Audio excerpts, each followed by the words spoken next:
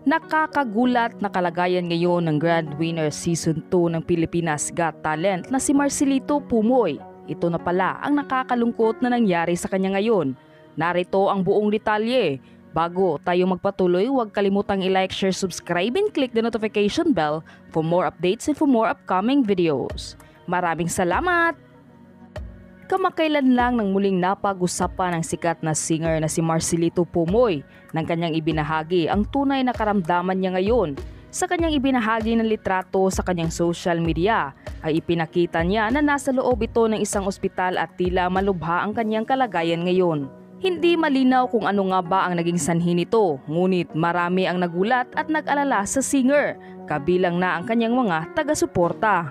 Sa kaniyang caption ay humihingi ito ng panalangin na naway isama siya upang sa kanyang agarang pagaling. Isa ang aktres at singer na si Vina Morales ang nagbigay ng kanyang komento para sa kanyang kaibigan na si Marcelito. Praying for you brother. Mars, you need to cut back on your hectic long concert tours.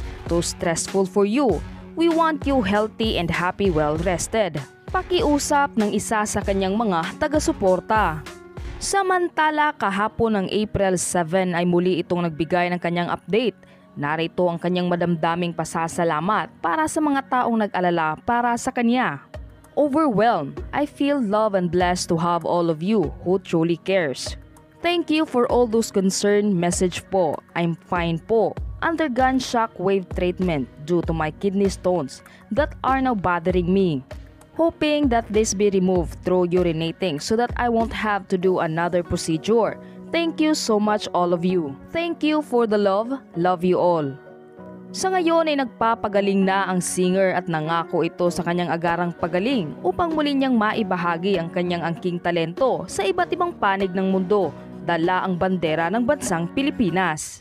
Ikaw, ano ang masasabi mo sa videong ito? Mag-iwan ng komento sa baba.